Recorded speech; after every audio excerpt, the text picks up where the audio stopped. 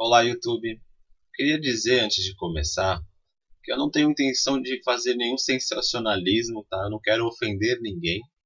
E outra coisa, se você acredita que o nome dele não é Jesus Cristo, que é Yahoshua, Yahvé, não importa qual o nome dele para mim, tá? Também não me importa qual a cor que você acredita que ele seja, tá?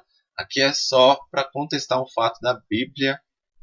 Se Jesus ele acreditava que a Terra era plana, sim ou não? Só vou mostrar isso para vocês. Então, se é a primeira vez que você está vendo um assunto sobre isso também no canal, a minha intenção aqui não é ridicularizar a Bíblia, tá? Mas pelo contrário, mostrar para ela como ela transcende para a realidade dos tempos atuais e como a ciência tenta esconder a verdade que Jesus acreditava na Terra plana, porque ela é plana, tá? Então se parece coisa mais bizarra que você pode ouvir na vida para você, tá?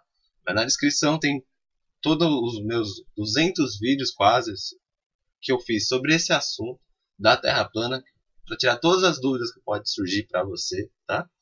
Também tem um monte de outros ca canais no YouTube que eu recomendo que vocês peguem outras opiniões. Cada um vai ter sua opinião sobre esse assunto. É algo que vale a pena você perguntar. Não, e, e o seguinte aqui também. Se você não acredita na Bíblia, tá? Pense como eu. É só um livro histórico, cara. É um livro histórico muito antigo. Por mais que você seja, não foi adulterado bastante. Sim, dá pra mostrar até. Tem um vídeo aqui no canal da série Walter Bate. Procure nas playlists. No qual ele fala sobre as modificações da, que ocorreram na Bíblia, tá? E sim, até eu, eu, eu recomendo hoje a ACF, né? Mas pode usar qualquer uma em Mateus 4, 8, 10 e você vai ver a mesma coisa que estamos vendo aqui. Tá? A pergunta, a resposta para a pergunta: Jesus acreditava que a Terra era plana? Sim ou não? Novamente, o transportou o diabo a um monte muito alto e mostrou-lhe todos os reinos do mundo e a glória deles. Se o monte é muito alto e dá para ver todos os reinos do mundo, não é um globo. No globo você não consegue ver a Terra inteira. Já na Terra plana, se a gente conseguir subir alto, e aí se antes que você me mande lá para cima, já falando, a gente não consegue tanto assim. Tá? A gente só consegue 10 km, a gente está falando de algo bizarro aí, tá? E um monte muito alto, e mostrou-lhe todos os reinos do mundo e a glória deles. Isso só é possível numa terra plana. E disse-lhe: Tudo isso te darei se prostrado me adorareis. Então disse-lhe Jesus: Vai-te, Satanás porque está escrito: Ao Senhor teu Deus adorarás e só a ele servirás.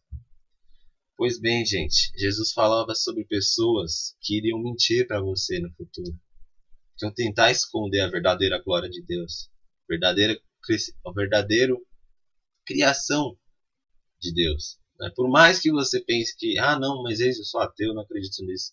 Pense que a energia do universo fez a Terra surgir, ela foi descrita na Bíblia como tal. Tá? Você pode levar para esse lado também. A energia surgiu, cara. Essa energia inicial seria Deus, no caso. Por mais que você não entenda, ou nós não consigamos compreender a criação, nós fomos criados. Nós nascemos. Nós não, fomos, não criamos a nossa nascimento. Viemos de algo, cara. E a ciência moderna de hoje quer nos isolar, falar que não somos algo isolado de tudo, num buraco negro, a vida não existe, Deus não existe, nada, nada é para nos proteger, estamos à mercê de, de um universo caótico e malvado. Não, garanto, cara. Existe uma camada energética que você pode chamar de, ou algumas pessoas chamam de domo, né? Eu aqui chamo de Van Allen, que é uma camada energética provada na ciência de centenas de milhares de electronvolts, capaz de barrar qualquer tipo de coisa contra nós. E é por isso que nenhum meteoro cai em nós, cara. Nunca vai cair. E é por isso que eles, como a gente vê lá na Rússia, o Chablinsky, o meteoro explodindo contra o Van Allen. Eles escondem isso de você. Né? Se você soubesse que o Van Allen existe, vocês iam perguntar, cara, mas como é que vocês foram para a Lua? Como é que vocês passaram por centenas de milhares de electronvolts? Eles nunca vão responder isso para vocês. Satanás é o pai da mentira, cara. E se a ciência no mundo inteiro hoje acredita em algo, que é uma mentira, oh meus amigos, isso só pra, torna Jesus para mim mais real, cara. Mais vivo cada um instante. Se inscrevam, compartilhem e até a próxima. Tchau, tchau.